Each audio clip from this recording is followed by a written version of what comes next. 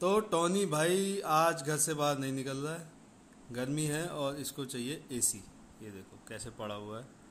पैर लंबे करके। और ऐसे ही सोएगा शाम तक। हिलेगा नहीं यहाँ से।